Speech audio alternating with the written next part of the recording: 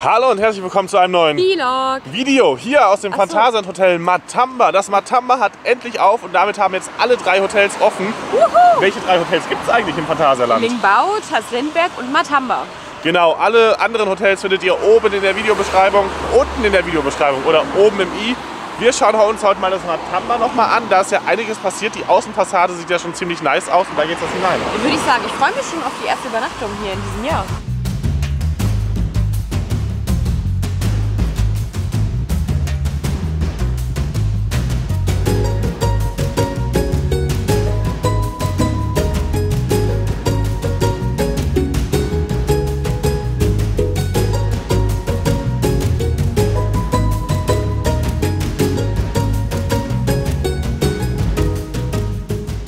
Wir haben gerade eingecheckt und haben alle wichtigen Informationen bekommen. Die wichtigste Information ist, dass das Zimmer leider noch nicht bezugsfertig ist. Spätestens um 15.30 Uhr könnt ihr aber dann auf das Zimmer gehen. Was braucht man denn? Zu Corona-Zeiten gibt es ja eine besondere Sache, die man auf jeden Fall beachten muss, wenn man das Matamba besucht. Genau, und zwar kriegt man an der Rezeption so ein Bändchen. Das bedeutet, dass die Mitarbeiter wissen, dass ihr geimpft seid, genesen seid oder getestet seid und negativ seid. Also auf jeden Fall eine gute Sache. Die sollte man auch immer anhaben, auch wenn man den Park betritt. Und das Matamba hat natürlich seit letztem Jahr auch einen eigenen Parkeingang. Und äh, genau, und das muss man damit vorzeigen mit der Eintrittskarte und dann kommt man in den Park. Genau, und man kann sich natürlich auch vor Ort testen, wenn man das möchte. Gegenüber vom Haupteingang ist ein Testzentrum in der Event-Location Stocks. Hier quasi vom Testzentrum, das ist im Stocks genau gegenüber vom Haupteingang. Einmal über die Straße gehen und dann ist da das Stocks. Ich war in dieser Event-Location noch nie drinne und bin jetzt mal gespannt.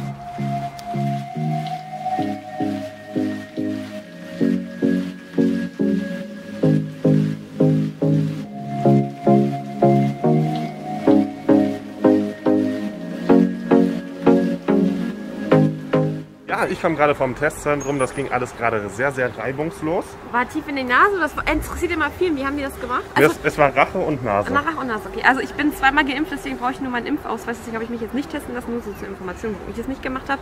Aber es ist schon mal angenehm, Mund und Nase ist Genau. besser. Und es ist auch genügend Platz. Das Testzentrum hat, glaube ich, von 7.30 Uhr bis 14 Uhr auf. Da könnt ihr euch online einfach einen Termin reservieren. Da geht es relativ einfach und relativ zügig. Der Test darf dann nicht älter als 48 Stunden sein. Wir empfehlen euch immer, macht den Test in eurer eigenen Stadt. Und falls ihr länger bleiben wollt, müsst ihr den Test nach 72 Stunden nochmal erneut vorzeigen. Und dann könnt ihr hier in Stocks gehen und euch da testen lassen. Wir gehen jetzt erstmal in den Park und werden den Tag da genießen. genau.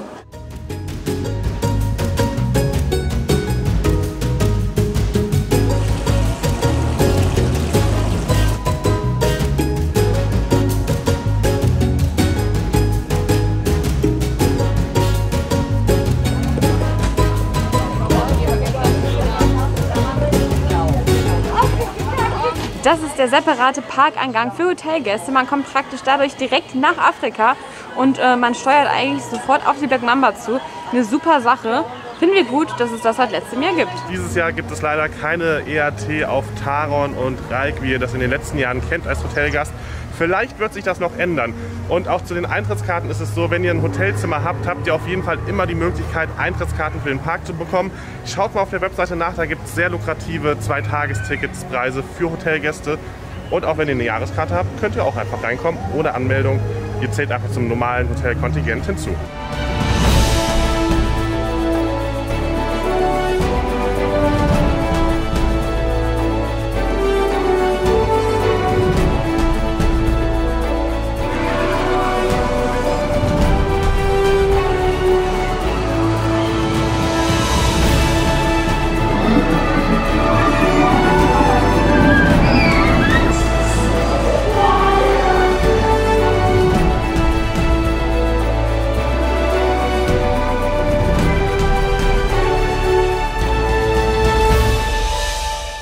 Wir haben jetzt 15.30 Uhr, das heißt, wir können jetzt einchecken und das werden wir jetzt tun. Wir können jetzt auf jeden Fall einchecken, haben jetzt den Koffer geholt aus dem Auto raus und äh, ja, jetzt äh, geht's los ins, ins Hotelzimmer.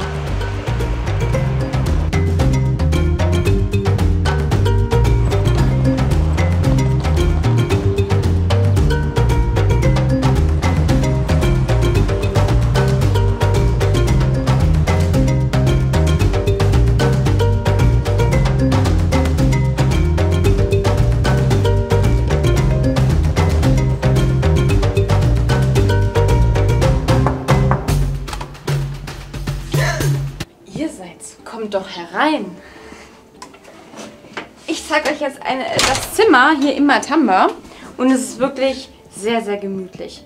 Und zwar links ist das Kinderbett.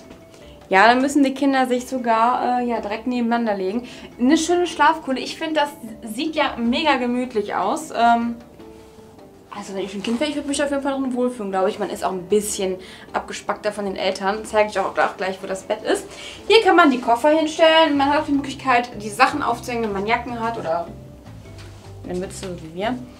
Dann hat man natürlich auch die Möglichkeit, die Sachen aufzuhängen. Hier hat man einen großen, großen Kleiderschrank. Ähm, ja, sehr, So, sehr der nice. Detail ist halt einfach ein Ast, gell? Ja, das ist so cool. Genau, und dann haben wir direkt gegenüber vom Kleiderschrank das Badezimmer. Ich finde das Badezimmer richtig gut. Also mir gefällt das wirklich sehr, sehr gut. Das Highlight vom Badezimmer ist halt einfach hier die Dusche. Die ist halt echt riesig. Aber Kevin, ich finde selbst dieses Waschbecken finde ich halt auch mega cool. Das könnte ich mir auch für zu Hause vorstellen. Genau, hier haben wir das Bad.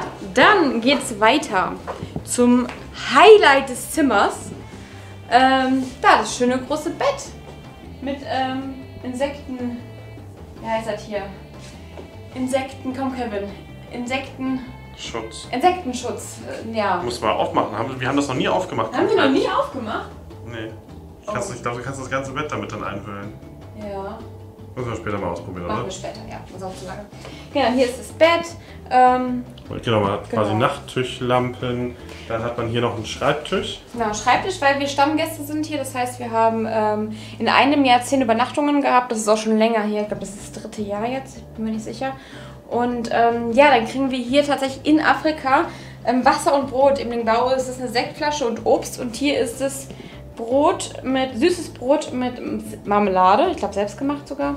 Und Apollinaris. Genau, Wasser ist hier nicht standardmäßig auf den Zimmern drauf. Das ist nur im Lingbau dann der Fall. Genau, weil hier ist noch ein Stern weniger als den Bau. Deswegen gibt es hier nämlich auch keinen Pool.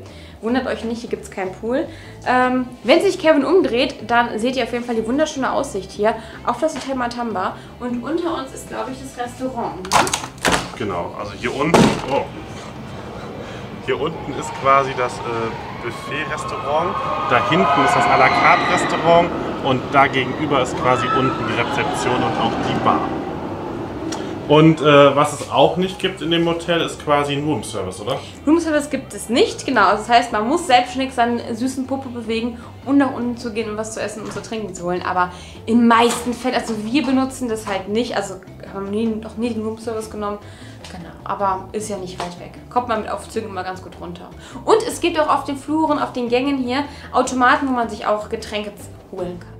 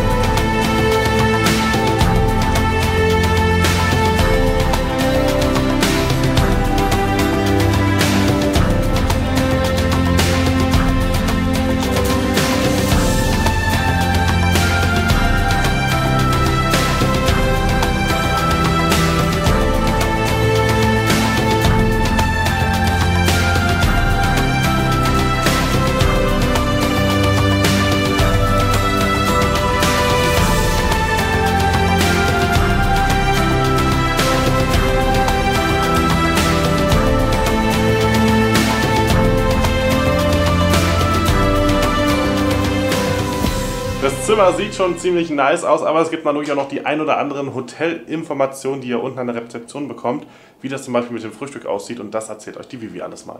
Genau, und zwar gibt es Frühstück von 7 bis 11 Uhr. Ihr müsst vorher an der Rezeption eine Zeit haben, also reservieren. Und dann habt ihr 45 Minuten Zeit zum Frühstücken. Ähm, genau, das auch. Und Essen weiter zum Restaurant. Und zwar das Zambesi hat leider nur auf. Das, Buff äh, also das Buffet-Restaurant, das à la carte, hat noch zu. Täglich von 18 bis 22 Uhr könnt ihr im Buffet essen. Das ist aber auch nicht garantiert. Wir haben ja aktuell auch den Fall, dass wir gerade eingecheckt haben, haben um 10 Uhr nach einer Reservierung gefragt fürs Essen um 9 und das Buffet-Restaurant ist komplett ausgebucht. bucht das am besten im Vorhinein. Wir haben auch noch Alternativrestaurants gerade bekommen von der Rezeption, die können wir euch auch gleich mal zeigen. Genau. Dann gibt es noch die Bar, äh, die Jafari Bar, die hat von 10 bis 24 Uhr geöffnet. Ähm, da müsst ihr auf jeden Fall nicht reservieren. Da könnt ihr auch noch snacken zwischendurch. Also wenn ihr jetzt im Buffet nichts isst und ihr habt nicht mehr allzu viel Hunger, weil ihr vielleicht vorher schon im Park gegessen habt, dann könnt ihr auf jeden Fall noch eine Kleinigkeit dann dort snacken, entschuldige. Das WLAN ist free, das heißt, ihr könnt hier das WLAN benutzen im Hotel, das ist ganz praktisch. Wir wurden gerade unterbrochen, weil die Klimaanlage hier funktioniert nicht ordentlich. Es ist sie aus, weil ähm, ne, weil die super laut ist. Wenn das mal vorkommt, einfach an der Rezeption Bescheid sagen. Die schicken meistens einen Techniker hoch, der sich darum kümmert. Ähm, genau. Und wo sind wir stehen geblieben? Hygiene und Regeln. Also Maskenpflicht ist natürlich außerhalb des Zimmers überall. Ähm, Hände desinfizieren, das übliche Abstand, das kennen wir ja langsam schon alles.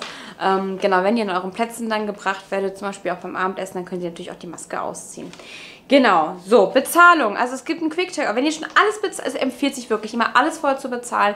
Wenn ihr könnt euch die Sachen natürlich auch aufs Zimmer schreiben lassen, aber dann habt ihr das Problem beim Auschecken, dass ihr euch wieder in die Rezeption anstellen müsst, um dann noch den Rest zu bezahlen. Und wenn ihr nichts mehr offen habt, könnt ihr auch einen Quick-Checkout machen. Das heißt, einfach die Karte irgendwo reinschmeißen und dann könnt ihr das ganze Hotel auch verlassen. Das ist auf jeden Fall angenehmer.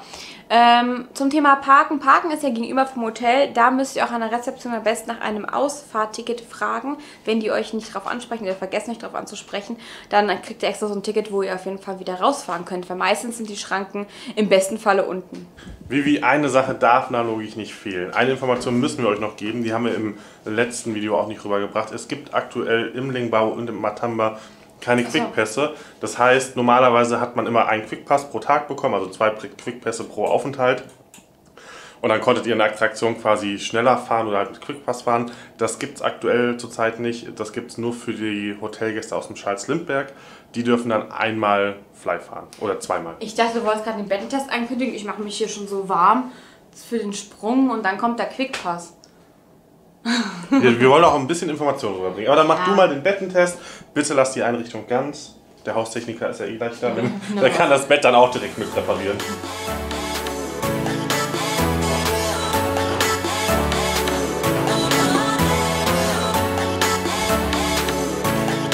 Und? Ja, so auf jeden Fall angenehmer als mein erster Sprung. Den mussten wir rausschneiden, habe ich mir schon ein bisschen wehgetan. Aber ja, es ist halt nicht, es ist halt nicht die Lingenbaubetten. Es ist halt, es ist halt, ja, ist halt nicht Lingenbau. Es ist okay, definitiv, aber also Lingenbau würde ich ja bevorzugen, oder Kevin? Leg dich auch mal rein. Ja, also das, ja, ja. Es, es, es, ist, es ist ein bisschen härter, aber es ist halt auch in Ordnung. Also ich glaube halt, wenn man halt so den direkten Vergleich von Matamba und Lingbao hat, ist das äh, Lingbao natürlich ein bisschen bequemer. Aber das ist jetzt auch vollkommen in Ordnung. Ich bin gespannt, wie wir schlafen werden. Ich aber ich glaube, das geht. Haustechniker war gerade da, Klimaanlage kühlt. Aber wenn ihr noch schneller eine Abkühlung haben wollt, gibt es hier natürlich auch eine Bar. Die heißt nämlich wie? Äh, äh, Jafari Bar heißt die und äh, die ist wirklich sehr gut. Und da geht es jetzt hin, da kann man Getränke trinken und auch kleine Snacks essen. Und das schauen wir uns doch mal an, oder? Ja.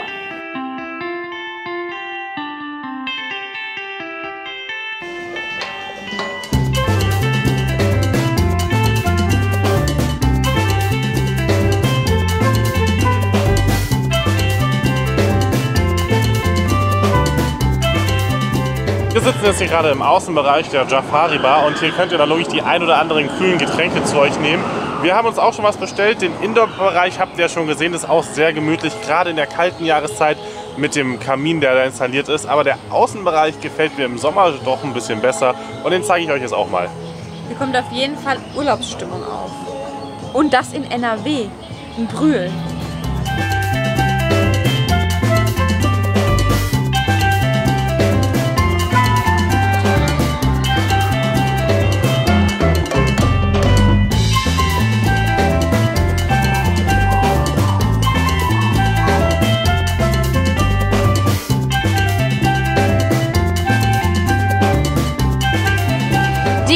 Angekommen. Wir haben uns leckere Ipanema bestellt und das können wir uns wirklich sehr, sehr empfehlen. Ist alkoholfrei, wirklich super. Und äh, gleich kommt noch was zu essen. Was das wird, das zeigen wir euch auf jeden Fall, wenn es ankommt.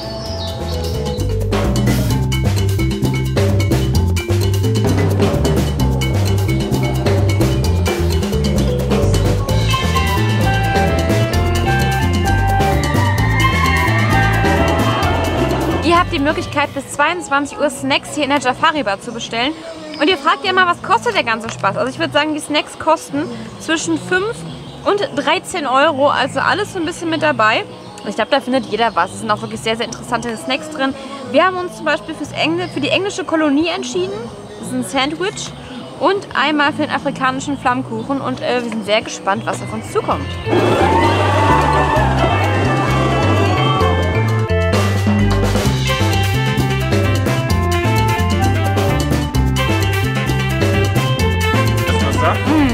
Sandwich und der Flammkuchen. Sieht auf jeden Fall sehr, sehr lecker aus. Aber wir haben jetzt aufgegessen und es war sehr lecker. Es war leicht scharf, muss man wohl dazu sagen. Aber es ist auf jeden Fall mal was anderes und wir haben es bis jetzt noch nicht probiert. Lohnt sich auf jeden Fall für den kleinen Hunger, kann man das wunderschön snacken. Gerade auch mal ein bisschen fresh gemacht. Wir wollen jetzt äh, zum Essen gehen und es ist so, dass leider aktuell immer noch nur das Buffet-Restaurant hier in Matamba auf hat, was jetzt nicht so schlimm ist. Wir sind jetzt nicht so die größten Buffet-Fans, aber man kann das auf jeden Fall besuchen. A la carte hat noch zu, aber man muss sehr frühzeitig einen Tisch reservieren und es langt noch nicht mal, dass wenn ihr jetzt um 9 Uhr anreist, euch dann einen Tisch äh, reserviert. Zumindest bei uns ist es so, also zumindest wo wir gekommen sind, um äh, 8.30 Uhr haben wir gesagt, nö, schon alles voll. Ihr habt quasi keine Tischgarantie. Beim Frühstück habt ihr quasi nur eine Tisch Frühstücksgarantie, dass ihr auf jeden Fall frühstückt. Jetzt haben wir quasi noch so eine Liste bekommen, wo wir quasi in Brühl essen gehen könnten. Da kenne ich jetzt den Schlossburger, der ist gar nicht mal so schlecht. Und äh, ja, wir haben uns dann jetzt auch eine Warteliste gesetzt und es wurde gesagt, hey, schaut doch einfach unten mal beim Restaurant vorbei. Das probieren wir jetzt gleich auch mal aus. Also 20, also 20 Uhr ist eigentlich unsere Warteliste, also 20 Uhr Wartelistenplatz. Die meinten, dass es aber ab 21 Uhr erst sein kann, dass wir ähm, einen Platz, einen Tisch kriegen. Genau, sollte es jetzt hier nicht funktionieren, können wir auch noch mal kurz ins Lingbau rübergehen und da gucken, ob wir da noch einen Tisch kriegen zum Essen. Ja. Und ich würde sagen, wir probieren es einfach aus. Es ist echt ein bisschen blöd sie wissen halt, also es ist halt Corona-bedingt, kann man schon verstehen, dass das Restaurant kann aktuell nicht auf voller Kapazität fahren. Aber wenn man dann halt im Hintergedanken hat, dass halt zwei à la carte Restaurants einfach zu haben, die halt auch dann noch Leute schlucken könnten, ist halt nicht so optimal. Nee. Und die Leute dann halt irgendwie nach Brühl zu schicken, ist wenn man halt kein Geld echt, verdienen will. Ja, ist halt echt doof. Ich meine, dass man Schuh hätten ja auch locker aufmachen können. Ne? Naja, schade genau. Schokolade.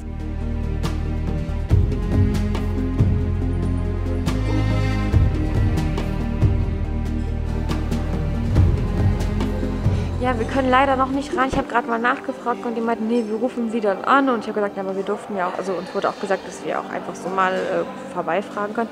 Ja, ja, das geht auch, aber es wäre nichts frei, die rufen uns an. Und ja, mal gucken, müssen halt noch ein bisschen warten.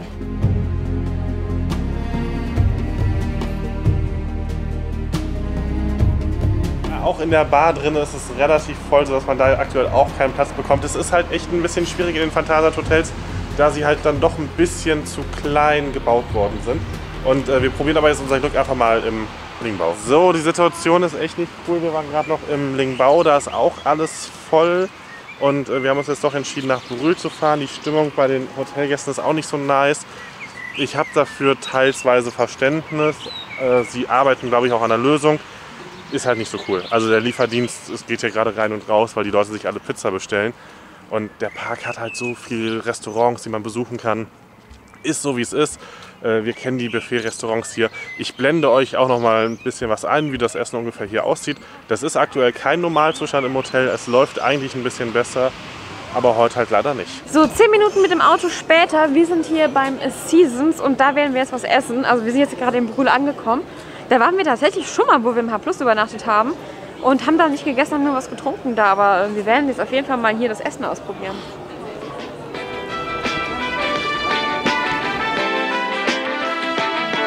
Wir haben gerade Essen bestellt und wir sind, glaube ich, relativ glücklich gerade. Vielen Dank, Leo, an dieser Stelle für die Empfehlung hier. Ähm, also das hört sich wirklich sehr gut an. Wir sind gerade richtig, wir haben so einen Hunger. Wir haben jetzt eine Vorspeise bestellt äh, für alle. Dann haben wir noch eine äh, Hauptspeise und eventuell kommt noch ein Dessert. Mal gucken, was wir schaffen. Wir haben jetzt unser Essen bekommen, beziehungsweise die Vorspeise. Und es sieht wirklich sehr lecker aus. Und sieht echt Hammer. gut aus. Ich bin mal gespannt, wie es schmeckt. Wir haben hier gerade unseren Burger bekommen. Der sieht schon ziemlich, ziemlich nice aus. Wir haben einen Double Burger. Die Vivi hat einen Mexican Burger. Mexican Burger. Und du hast? Ich habe Schweinemedaillons mit einer Whisky-Honigsoße. Oh, also lecker, lecker, lecker. Guten Hunger. Wir haben gerade unser Dessert bekommen. Das ist der Caramel Cheesecake. Der sieht schon gar nicht mal so, so schlecht aus. Hier hätten wir noch eine Mousse Schokolade Und da hinten hätten wir noch einmal hier so leckere Apfel. Apfelkuchen mit äh, Eis, warmer Apfelkuchen mit Eis. Willst du auch gleich mal probieren? Ich probiere auf jeden Fall. Schau mal, probier du doch mal als erstes.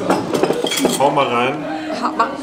Es sieht, oh, die haben diese Streusel. Warum ist, oh, das ist aber sehr flüssig, ne? Das ist alles.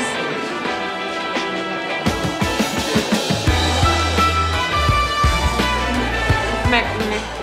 Ja, wir kommen hier gerade vom Essen und das war eigentlich ganz cool. Die Vorspeise war lecker, der Hauptgericht war lecker. Mit dem Dessert waren wir jetzt nicht so zufrieden. Nee, also nimm kein äh, Karamell Cheesecake, weil das ist irgendwie Wasser.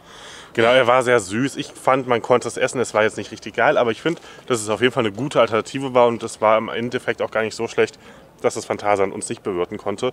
Weil wir haben was Geld gespart, ne? wir haben ein bisschen Geld gespart. Es war deutlich preiswerter hier. Und man hat nochmal eine andere Location kennengelernt. Und das ist ganz Definitiv. cool. Für uns geht es aber jetzt direkt wieder ins Hotel. Und wieder ins Hotel, genau. Und äh, das Ganze findet ja eigentlich hinterm Schloss Brühl, kann man so sagen, ne? Genau. Ja, und jetzt geht's wieder ab, zurück ins Hotel. Neuer Tag, neues Glück, meine Güte. Wir haben äh, heute oder in der Nacht sehr gut geschlafen. Ist ein ganz normales Bett, ist jetzt nichts krass Besonderes, nicht so wie im Lingbau, dass man da ein Spockspringbett hat. Die Vivi macht sich hier hinten schon im Bad ready. Und äh, ja, für uns geht es jetzt gleich zum Frühstücksbuffet. Frühstücksbuffet ist na logisch garantiert. Im Normalfall sollte es zumindest garantiert sein. Dann müsst ihr euch auch vorab eine Reservierung äh, machen an der Rezeption. Und Also, also ganz kurz, ich will mal ganz kurz, ich habe jetzt keinen Bock, nochmal nach Brühl zu fahren, um zu frühstücken. Ja, der Meckes ist bestimmt jetzt nicht so weit weg. Können wir auch frühstücken. Vivi, Vivi Ja? das ist ein Drei-Sterne-Hotel mit einem Vier-Sterne-Preis. Da kann man nicht erwarten, dass es für alle am Abend einen Sitzplatz beim Essen gibt. Entschuldige, dass meine, meine Anforderungen ein bisschen höher sind als vielleicht gedacht, ja? Hey, aber wir haben sehr gut gegessen. Wir haben dafür so ein bisschen Verständnis in der Logik. Aber wir wollen trotzdem noch mal ein bisschen aufs Buffet eingehen. Wir kennen das Buffet in der Logik hier vor Ort. Und ich blende euch jetzt auch auf jeden Fall mal Bilder ein, was euch da so erwartet. Es ist halt richtig cool, besonders für Kinder. Es gibt halt so einen richtigen Kinder-Pizza-Ofen. Es gibt ein separates Kinderbuffet. Es gibt eine Live-Cooking-Grill-Station, wo man halt auch solche Sachen wie Zebra, Krokodil bekommt. Und halt auch ein paar außergewöhnliche Fleischsorten, die man jetzt nicht so an jeder Ecke findet. Und das ganze Buffet ist auch so ein bisschen spezieller aufgebaut. Es gibt Brotsalat. Es hat natürlich so ein bisschen Afrika-Theming. Und äh, ja, wir sind persönlich nicht so die krassen Buffet-Fans. Man kann das Buffet auf jeden Fall hier unten besuchen. Für Kinder ist es auf jeden Fall ein Highlight bei dem schönen Kinderbuffet. Aber man muss halt auch sagen, dass die Essensqualität beim Buffet manchmal schwankt. Es gibt auch in Normalzeiten äh, ein à la carte Restaurant. Das würden wir euch auf jeden Fall empfehlen und bevorzugen. Äh, gerade wenn ihr zu zweit seid oder so, besucht das à la carte, wenn es offen hat. Das ist wunderschön. Und preislich ist es auch nur ein bisschen teurer als das Buffet. So, jetzt habe ich genug geredet. Für uns geht's zum Frühstück. Vivi, bist du ready? Gleich. Gleich, okay. Ja. Und Was machst du da? Ich lege gerade mein neues Corona-Bändchen für den heutigen Tag an. Genau, es gibt jeden Tag eine andere Farbe. Heute ist lila am Start. Ja. Und jetzt können wir mal losgehen, oder? Maske, Dankeschön. Frische, Ja. auch zum Frühstück. Juhu!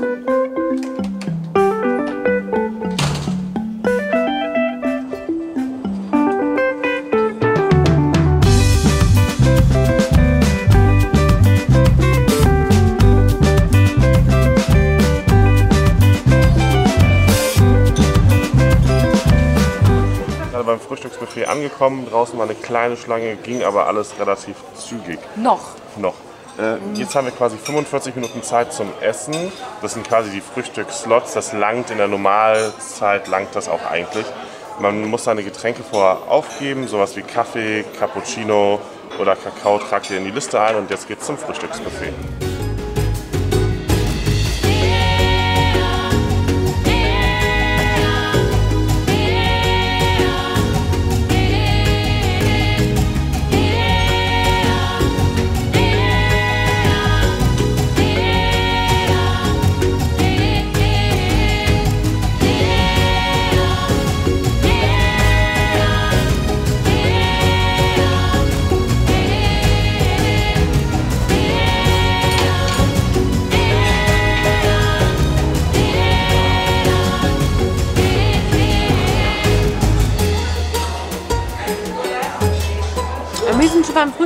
Angekommen und es ist wirklich mega gute Auswahl. Ich habe das Gefühl, bessere Auswahl als in den Bau.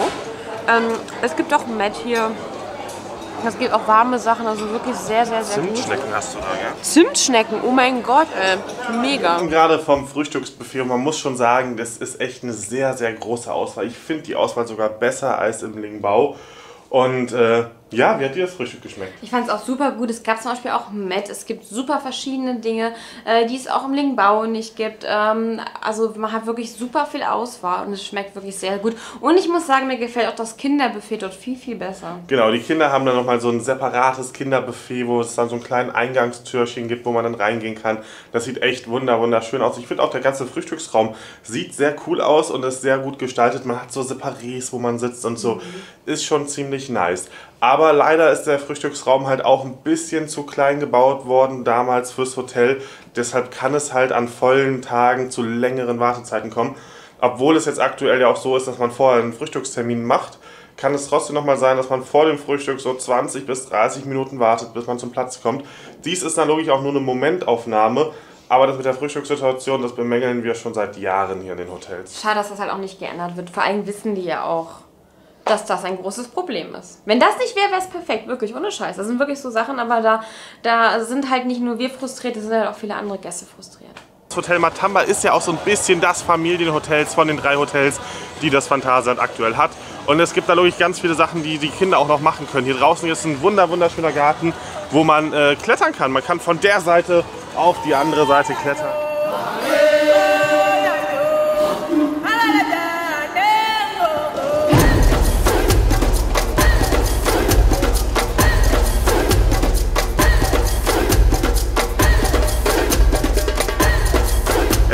Hier auch noch ein Bällchenbad, was aktuell bei unserem Besuchstag nicht offen war, was aber auch sehr schön ist.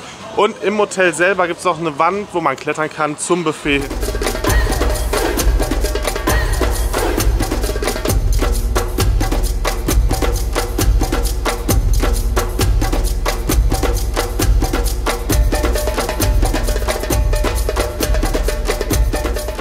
Also es ist halt durch und durch ein cooles äh, Familienhotel. Da hat man auf jeden Fall Spaß.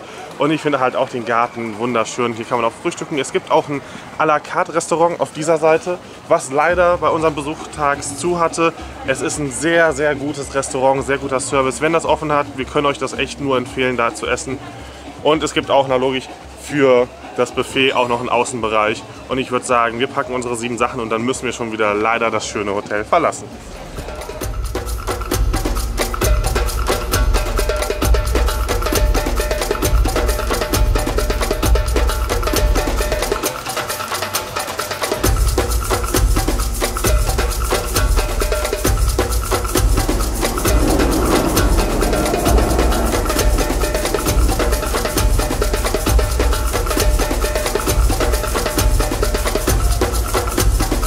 Sieben Sachen gepackt und das heißt, dass wir auschecken müssen. Checkout ist spätestens um 11 Uhr und der Park macht um 9 Uhr auf. Also ihr könnt quasi vom Hotel schon um 9 Uhr in den Park.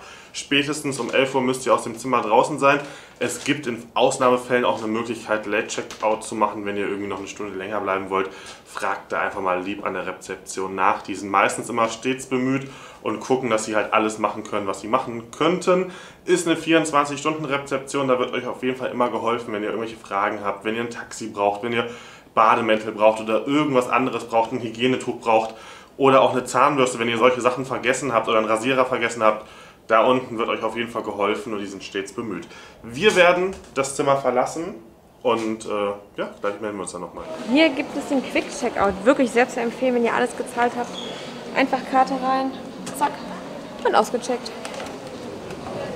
Das war unser Aufenthalt hier im Hotel Matamba. War echt wieder schön vorbeizuschauen und wie gesagt, es war auf jeden Fall eine Momentaufnahme. Wir kennen es auch, dass es ein bisschen besser im Hotel läuft. Aber wenn ihr sagt, hey, das Matamba ist jetzt vielleicht nicht so mein Stil, ich will ein bisschen mehr Wellness haben, haben wir dafür dann wirklich auch ein Video, das Lingbao direkt nebenan. Schaut oben mal im i vorbei oder wenn ihr noch ein paar Abenteuer erleben wollt, dann schaut doch mal beim Hotel Charles Lindbergh vorbei im Video. Genau, also alle drei Hotels vom Phantasialand sind hier definitiv vertreten und schaut vorbei, wir würden uns freuen. Wir sehen uns im nächsten Video. Euch noch viel Spaß. Auf YouTube. Tschüss. Bis dann, Tschüss.